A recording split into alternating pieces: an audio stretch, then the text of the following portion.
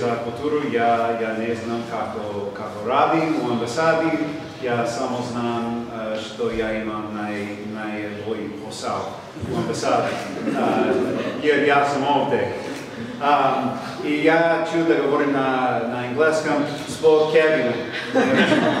Pravno, da. Uh, but I do want to say thank you to the museum, to Jan, to Greg for putting this together, and thank you to Kevin for coming to Serbia and for bringing your art with you. One thing we, we like to do here is use culture to show you pieces of America. And so often, and I think too often, it's a very flashy piece of America. It's New York, it's LA, it's the bright lights, it's the big cities, it's the celebrities, but that really isn't America. Uh, America is the small towns, it's the people that work in industry, it's the blue-collar families, and it's artists like Greg who bring that to life in a very special and experimental way. Um, when I got to see this a little less than two weeks ago, walking behind that, walking through that curtain, it was just, it's this immersive experience that you're about to have that really takes you uh, through parts of America that the average person doesn't get to see and in a way that the average person doesn't get to experience. So um, I'm really grateful that Kevin does what he does and that he does it so well and that you're going to have this opportunity to experience his art in this way. So again, thank you both for putting this together. Thank you for bringing it, and I'm going to let you say a few words, ladies and gentlemen. Kevin Jerome Everson. Thanks. Thanks.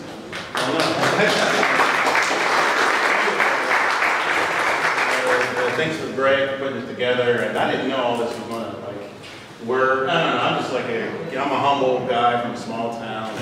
Then I just like make art, and then I realized that from all the world kind of see what I do, and then I'm flattered and um, and I'm moved that people, you know, Serbia are really excited about this, and I'm excited about like anybody would spend a minute looking at anything I make, but. But anyway, so it's gonna be fun. So I, I, I come to talk about just the work and stuff, but but um, I think like the show is in kind of three parts. So I'm going to talk about the first part here. Now, I'm from a small, small town in uh, Ohio called Mansfield, Ohio, which is the Midwestern part of the United States. Um, it used to be a very industrial town. Uh, when I, when I, I'm 54 years old, so when I used to live there and, uh, and I left when I was 18, um, there was actually more jobs than people. Um, there was like the General Motors plant. There was a Westinghouse plant that made washer and dryers, and I used to work there in summers. Um, I used to work, paint General Motors, like General Motors car parts when I was in college. Um, there was a Tappan appliance plant, a Master Tire. There was all these jobs, all the industries, and then they're all left in the, probably the mid to late 80s.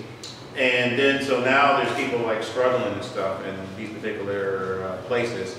Um, I don't, I think it's, it, when I lived there it was 55,000 people who lived there. Now it's about 40,000 or so.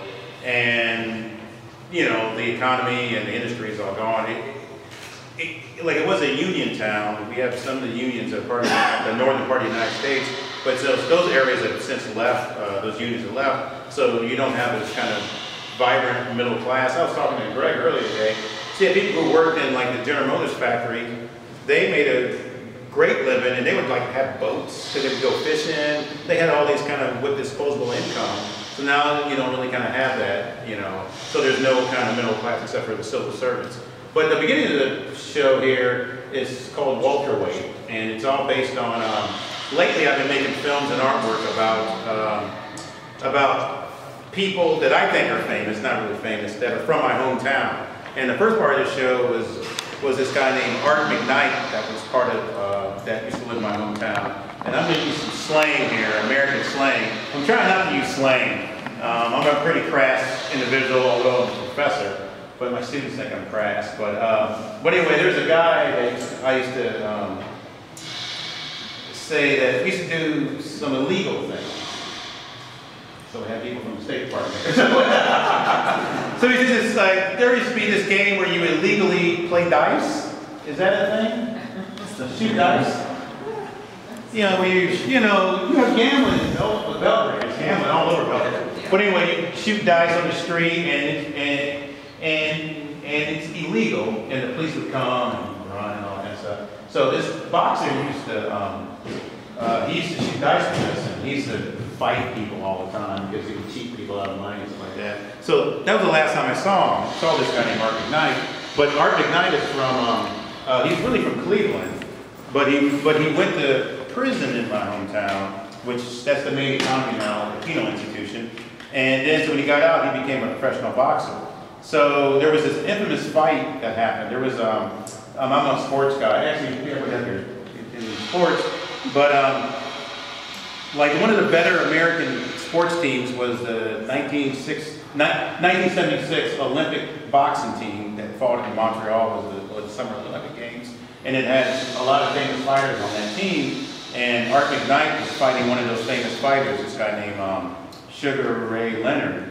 And so you can see on the wall there, uh, we can see the fight poster and the advertisement for that boxing match. And my uncle uh, went down there for that fight, and he said he was too drunk to remember any of it. But um, the fight was called in the seventh round, and I don't know if you've seen Martin Scorsese's um, uh, uh, Raging Bull, and there's a scene in Raging Bull where people throwing chairs on. That's what happened there. The, the fight was called way too soon, and all the people from my hometown who went to see the fight, they started rioting. But nobody would talk about that kind of because they thought it was embarrassing. Because everybody was all drunk and stuff like that. So, so then I wanted to make a, a film, an artwork about that fight. And uh, this famous boxer that Art McKnight fought with Sugar Ray Leonard, um, you can't find any material on that fight because he was cut during the fight. And so all over the world, and even I got a hold of the ABC, like a television network bureau in London, and they didn't have a tape of that fight. So, so I had to recreate that fight through Art McKnight's um, uh, memory and everything else. And then you can see a, a, a piece of projection there uh, that was, uh, we had to train a, a boxer to like, uh, to participate, to take over Art McKnight's moves, so to speak, in that fight. So this piece of art right here is based on this particular person and this, and this particular fight. Now what happened in the fight, like the refs and everybody was wanting Sugar Ray Leonard to win, so Art McKnight was called a technical knockout, but he really wasn't knocked out, and so people started rioting. So it was supposed to be an eight-round fight, but but it only went to seven rounds. So on the wall, you're going to see these cards where I don't know if boxing is popular here, but they have a ring person, a ring girl, pretty much, kind of walk around with the fight. So so that's what those cards uh, represent. I guess we could kind of go in. So on this wall here, you have the actual boxing uh, poster that was that I I think I found it online, but then I eventually saw somebody who had one. So we recreated it, and this is what you would put um, this image here. You would put um, put it like this image here. Something that you know, like we put in the newspaper um, that would compare the fighters, like their weight, their height, their reach, and you know, like and so you know, like and so to speak, whatever. And then and then so I just wanted to like not have any other kind of images. So I had uh, all the, uh, the like the rounds that were involved in the fight, and and then even the round eight that that what that did not happen, so to speak. And so, and this particular image here was shot. And again, I come from, um, um, I like I come from not a film school. I was telling the students earlier, but I come from um, an, art background, where my uh, my two degrees were actually in uh, photography. I did sculpture, printmaking, um, painting, artist books, stuff like that. So I'm always into with materiality, and I still do sculpture. Um, a lot of, uh, I make a lot of props for the film that you see. These were actually props for, uh, uh, for the film. Um, but also too, um, um, I shot the film, I, I shot this with a 16 millimeter movie camera. And the small daylight school reel is is a three minute um, long exposure film, and in each box round is three minutes. So I asked the fighter uh, just punch for exactly uh, three minutes for a round. So there's another art object made from this uh, this this event. It's called Round Seven, which is a 19-minute uh, experimental film about the fight. and then Art McKnight, um, um, like actually what describes each round, and then we have this like young uh, Golden Gloves boxer like reinterpret the rounds that Art Mc, uh, the fight that Art McKnight well, was in. But also too, in this particular film, Art McKnight spent a lot of time um, in a penal institution, locked up in jail.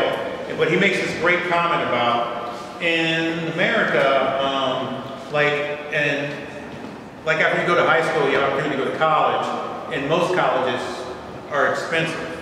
Um, and even state schools could be like 22, 23,000 dollars a year. But to actually lock up a person and put them in jail in the United States, especially in Ohio, it's like it's between 27 and 29,000 dollars a year to feed and clothe and health care for somebody. So it's actually more expensive to put somebody in jail than it is, is to educate them. So in the African American community, I think in the early 90s, there was actually more black American men that were in jail than they were in academic institutions and stuff. And, and then again, I always tell my students, you know, people talk about, I think in the past years, a lot of times, like marijuana has been legalized and stuff like that. And as I was telling my students, like drugs have always been legal in the white community, but never in the black community. Like, like the expensive high schools where people have drugs and the police aren't, the police don't have dogs sniffing around for drugs and those. But everybody knows that's where the drugs are. They always come in the black community and harass the black community, so to speak. So that's why, like, um, over 80% of people who sell and do drugs in the United States are of European descent, but almost 90% of people who are in jail for drugs are of, um, are either uh, like a like um, Hispanic, um, like like with descent or African American descent. So the whole idea of like putting somebody in jail um, costs more than the university doesn't bother the state at all because it's about controlling the uh, population, so to speak. So Art McKnight in that particular film kind of talks about, you know, his, you know, he even knows that particular uh, information. So this is like this uh, part of the show, round seven. So I guess is it good? So this is another. Uh, I, well, like I said, I forgot about this piece. There's actually four components to, to, to this exhibition, and this is a film called Polly uh, Two and it's basically a Super 8 exposure of the uh, 2017 eclipse that happened through the through the United States. Uh, when I filmed this, I was in this small town called Saluda, North Carolina, and to get total blackness of the eclipse, you have to be in something called, and an eclipse is when, you know, like the moon the blacks the sun, so speak. And then, so to be in total blackness, you have to be in something called total totality, whatever. So we were in 99.8% total, of 99.8% totality, which means it never got dark. So our calculations of where we had to be were off by about three kilometers.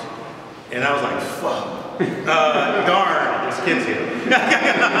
Heck, these two gentlemen here are looking at me like, you know, so, but I keep it PG. I keep it, it's no gangster tonight. But anyway, so, uh, but anyway, so anyway, so we all, so I had a bunch of friends and stuff, and these family members come down and help shoot the eclipse, and we didn't think we had anything interesting, because my whole strategy was to have like, like uh, about three minutes of sun eclipse and about two and a half minutes of total blackness with audio, if you ever lived through the, eclipse, as soon as it turns dark, you hear the crickets and stuff. So all the animals react like if it's night. And then, and then the rest of the exposure would be a little bit of sun. So it's gonna be like a 10 minute long take, which is the most ex unedited exposure that you can have with 16 millimeter movie film.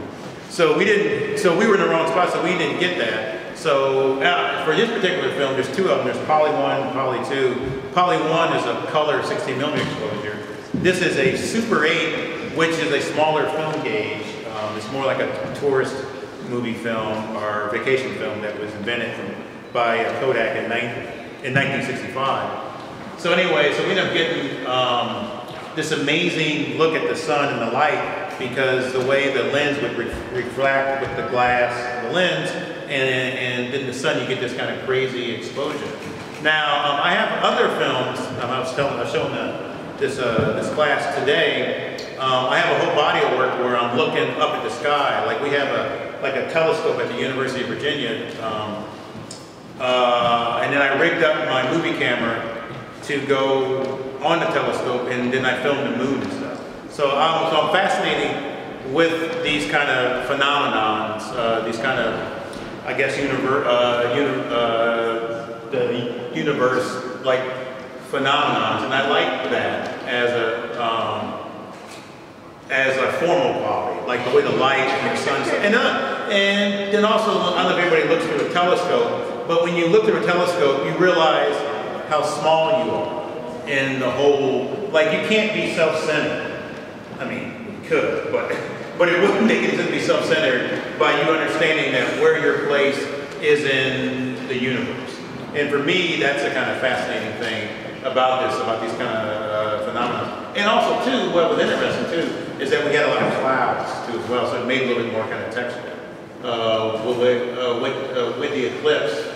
Um, and this is actually uh, a 34 minute long exposure, but I sped it up so it can have like a little bit of. So I think it's I think the whole film's like 13 uh, minutes long. Um, next month, um, the next well, since we didn't get full totality with this eclipse, um, kind of a braggadocious old school guy, and I was saying, gosh darn it, because the kids are here. Gosh darn it. I'm trying to cuss. like, well, wherever the eclipse is on planet Earth, we're going. Because normally there is an eclipse on planet Earth, but it's not on dry land. So the next eclipse is July 2nd in Chile, and through Argentina. So we already booked a flight for my crew, and we're all going down to Chile hopefully get total, totality. Hopefully I'll get invited back to Serbia and show the other version of the sun, um, of the solar eclipse. And, and, and, and the title of it is Polly 1, or Polly 2, and film called Polly 1. My grandmother, her nickname was Polly, and she passed away the day before the eclipse, so I named it after her.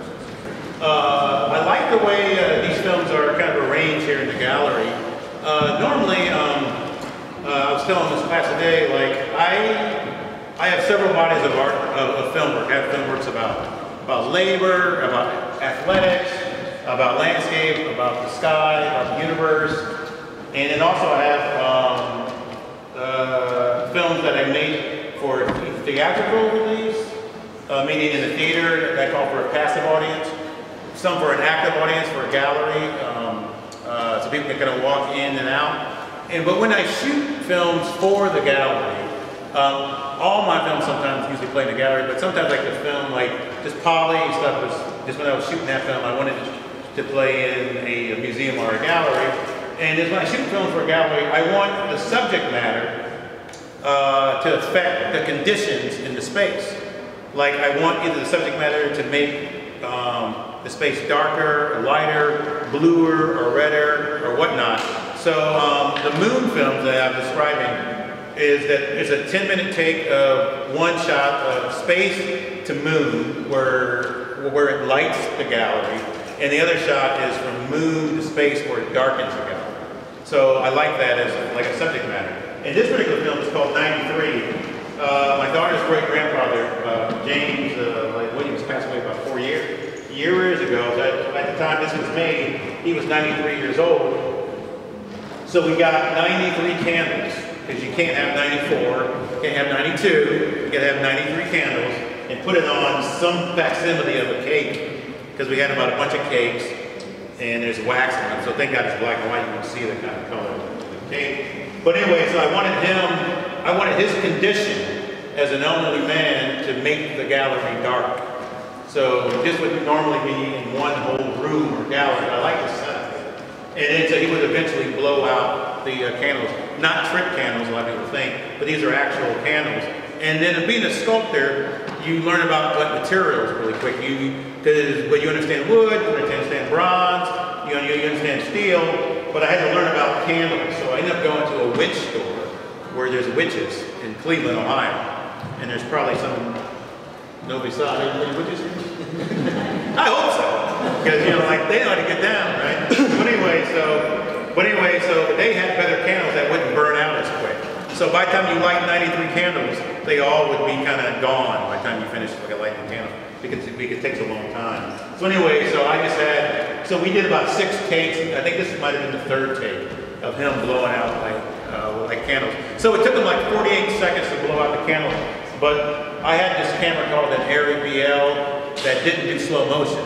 So it was doing 24 frames a second. So I, I ended up slowing, slowing it down in post uh, production. Uh, the film in the middle is kind of like um, the boxing film, Welterweight. I'm making films about uh, my hometown and about products about for my hometown. I used to work in this place called Westinghouse Factory, I said, and we made, my summer when I worked there, we made um, dryers.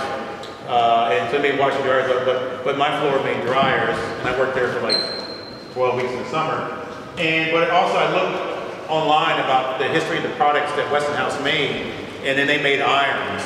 So, so I make props for some of the films, but in this particular, but now I've been making props that don't function. So this is a, an iron made out of, uh, cast out of rubber. So it doesn't really kind of work. So I had my cousin um, in Columbia, Mississippi, uh, Derek Whitfield Jr., uh, try to iron sheets out of uh, this rubber uh, iron that doesn't quite like function, so to speak. So I'm making all these products. So I made, uh, so they made binoculars during World War II, and they made uh, one of their early vacuum cleaners, uh, handheld vacuum cleaners in the 60s, and they made a waffle iron. So those are the images that are on the, the uh, card, uh, so to speak. So I cast it all in black, and then, and then this film stock, like this is normal uh, black and white uh, 16 millimeter film, but, but this is a really high contrast film stock from NASA that Kodak made. So that I guess you would film stars and stuff like that, are uh, spy on uh, people, like the government does. But anyway, so anyway, so anyway, um, so I just made sure that I made black irons, and then so there's this famous uh, African American painter named Kerry James Marshall. Everybody's hip to that. Him, but he also paints people completely jet black, these kind of shadows. So I was kind of painted homage to him by having this particular film being jet black, and then it'll like almost like erase the kind of skin tone and stuff. So almost kind of makes it like kind of shadow. So so anyway, and also too, again, I like uh, these 16 millimeter cameras because I can manipulate the cameras. So this particular camera has an option of hand cranking, like Charlie Chaplin was to kind of hand crank the films. So just when you hand crank it, like here's why it seems like it's going a little bit faster. Yeah, because that's how the film is, um, the film is going through the camera manually through my arm, so to speak. I can slow it down and speed it up. So that's uh, what's, so, so there's a series of these films with irons, and then I just made one with a vacuum cleaner, and then you know, I have some more binocular films in the works in the next couple of weeks. Uh, the film on the your left, I'm pointing the left, right, right, right, um, is a kind of, I'm making these series of films um, about my hometown, but I'm making almost like Andy Warhol screen tests. Have you ever seen those films, Andy Warhol? He would shoot all these people from the factory in New York.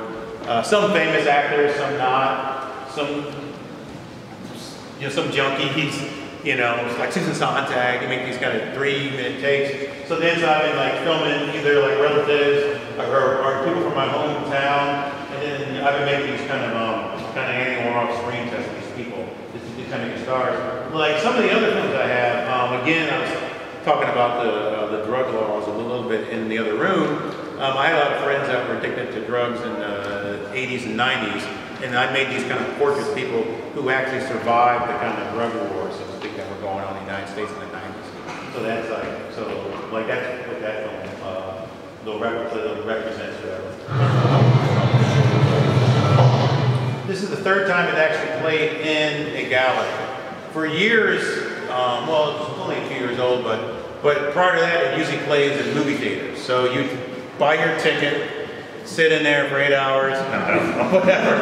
But but it's funny. Um, uh, there's been multiple people that stayed for the full eight hours, and I can tell because I'm usually introducing the film at nine o'clock in the morning, and I can tell like that guy. I'm gonna see him at like at 5 p.m. yeah, and sure enough, I do, and I got to take him out to dinner because I feel like he suffered enough, so I'm not the person. But when I was in Korea, there was a 71-year-old guy stayed for the full um, eight hours, and we had to get a translator because he could speak English, so we took him out to dinner, and he said he liked it because he used to work in a, um, he was retired um, guy working in a factory that made jewelry, so to speak. So he's just like like watching the tools. Um, but anyway, but anyway, so this is a film. So for years, um, I wanted to make a film that was eight hours long. There was this, uh, was one of my favorite filmmakers, this Filipino filmmaker named Lav Diaz. I don't know if you've ever heard of this cat. But uh, he's, a, he's a good friend of mine, and he makes nine-hour narrative films. And they are exhausting, and if it takes 20 minutes for the oxen cart to come up the road, it takes 20 minutes for the oxen cart to come up the road.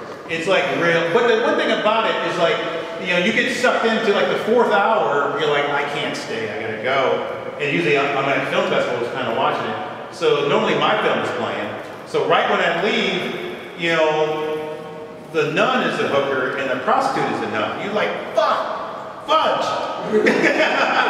my narrative is all screwed up, you know, yeah, yeah, yeah. My narrative is all screwed up. And then so he does these weird things at certain moments of the film. But, but then I like the fact that um, the longer you stay with somebody, I think the more the humanity kind of comes out, so to speak, instead of just kind of chopping it up, kind of editing.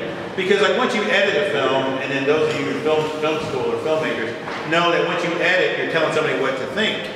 So for me, I like things that kind of draw out in time so you can kind of formulate your own ideal, so to speak. So, so anyway, so then I, so I wanted to make something long, and then I, and since I used to work in the factories, my uncle worked in the factories, my aunt worked in factories, so I wanted to uh, film a big ticket product, like it's like a just like a car, a refrigerator, or a washer dryer I used work at. So I wanted to film a product from start to finish for eight hours. You film different kind of workers. So um, it's hard to get permission to film in these industrial places because like, I don't know, like copy, copyright or, or whatever, trade secret so to speak. So for about a decade I was trying to find a factory to shoot in. So I got permission to film in uh, Mechanicsville, Virginia, this place called Qubica, where they make bowling alley supplies. Now people are hip to the sport bowling. Um, I used to bowl, my uncle used to bowl. My dad and uncle's pro-am. I got cousins a pro-am. So the title of the film is called Park Lanes, because that's the name of the bowling alley, or the bowling facility in my hometown, Park Lanes. Um, so this place makes, um, you know, makes bowling alley, like it makes everything but the balls and pins.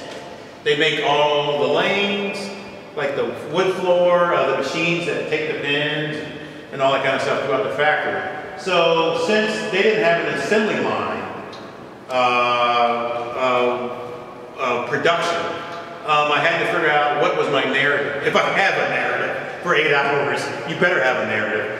Um, or, or some facsimile of a narrative. So what I, so then, um, so the thing was filmed, there was three cameras. Uh, I'm gonna nerd out here. There's three uh, pocket, there two block, two pocket Blackmagic cameras with C-mount uh, like lenses on it. And also there was a new camera, and this is the footage shot with this camera called a digital Bolex. There was thing called digital that was, and, it, and know, I had the very first one.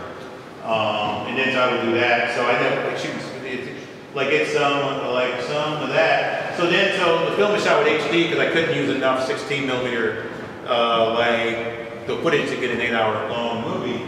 So um, so I ended up like framing up things. So I to find a narrative. So I was there for three days. At first I was following around this. Uh, this uh, young person, she was this one woman, she had about, I think she had two kids, and I liked talking to her, she was nice. I thought she would be my narrator, uh, my narrator, but she ended up being the, what the, the uh, ticket clock in and clock out, so I did use her a little bit.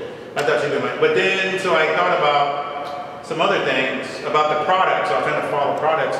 But then since being an artist, I like filming things that look like artistry, so I basically filmed things that look like sculptural objects. So like in the film, you'll see these weird looking shapes, and for me, they look like abstract kind of sculptures. So I end up going uh, like with that. So the longest take in this film, uh, we were earlier today, and lunch was playing.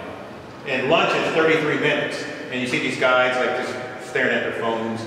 And then there's another scene at 17 minutes, but most of them are like 10, 3, 4 minutes. Um, I think it depends on the, uh, the uh, craft and, and the events, what's going on. So anyway, so the, the people there were super nice.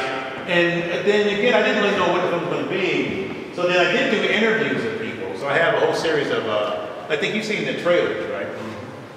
And so I have like a shit uh, truckload of trailers, and then they were um, of just interviews of some of the people. So we, we did interview people, but but uh, but the actual film doesn't really have much talking in it, except for lunch, so to speak, and a little bit during one of the first morning breaks, whatever. But folks always said like, how you know was this film hard to make? It was the easiest film they had. All I did was just put in the on like on the uh, digital timeline, just put in the clock in you know, just put in a morning break, um, lunch, and an afternoon break, and then put the clock out, and then just filled it up, so to speak. So, so I remember I shot it in March, was it 14, 15, uh, 14, and then I had to finish, and then I had a rough cut by April, and then I sat, you know, I sat with the film, and, and then I think I finished it in August. or something. So anyway, so like that was the kind of, um, and then also the employees here, they were mostly African Americans, uh, Laotians, and Vietnamese, and a few white people, but it was but it, it was mostly people of color, like in there. Um, what else to say about it? Um, it's actually watchable in a weird way. you know, it's actually, you go to the movie theater, it's actually like, huh. I actually physically sat, I mean, I've seen it a million times. But I actually saw it in the movie theater when it first premiered at the Rotterdam Film Festival. I sat in there all day. And I think I left to get my pictures taken for about 10, 15 minutes and came back. Whatever. That's so so I didn't watch the whole the whole thing. But for me I like these kind of contractions and so these kind of weird things that don't make sense. And then also and also I have another strategy too with some of the, the films. And I like to have people do stuff on screen, don't explain it to the audience. So I like the fact that the people on screen are smarter than the audience. So they know what they're doing, they know how to handle the machinery, and you, the author, uh, you, the viewer, have to kind of catch up. So, um, there's something else about this thing that's kind of crazy. Uh, we didn't have any accidents. Oh, no, I remember um, that they had some corporate secrets there. Like there was areas, is this being recorded? No. I'm not. But anyway, there was areas that we weren't supposed to film. And then I had some of my students like uh, like help me.